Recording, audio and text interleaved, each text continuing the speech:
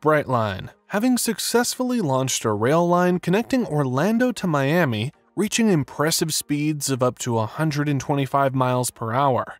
This ambitious project faced significant skepticism, yet it has now proven its viability and effectiveness. The Orlando to Miami line stands as a major milestone in U.S. rail transportation, showcasing the potential for high speed systems to offer efficient and rapid travel options. Building on this success, Brightline is now embarking on another groundbreaking project, Brightline West. This high speed rail line will connect Las Vegas to Southern California, ultimately linking to Los Angeles with trains reaching speeds of up to 186 miles per hour.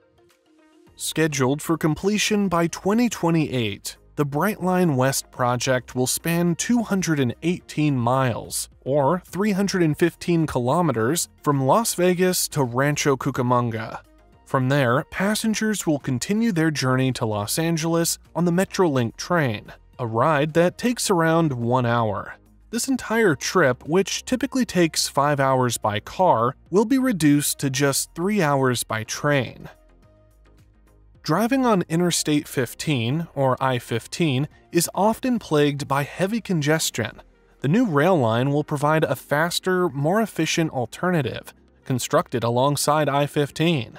Much of it will be built between the existing roadways, minimizing additional environmental impacts since it utilizes areas already affected by the I 15 corridor. Funding for this project will not rely solely on public money private bonds and capital will cover most of the costs, with only $3.5 billion expected from government funding. In June 2023, the Brightline West project received a significant boost with $25 million in federal funding. One of the most challenging sections of the route will be the Cajon Pass, presenting engineering and construction difficulties due to its rugged terrain. Despite these challenges, the Brightline West high speed rail project promises to transform travel between Las Vegas and Southern California, offering a faster, more efficient, and environmentally friendly alternative to driving.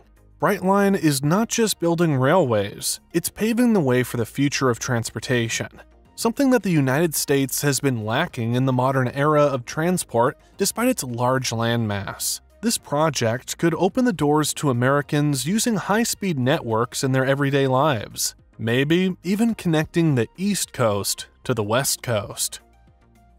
Thanks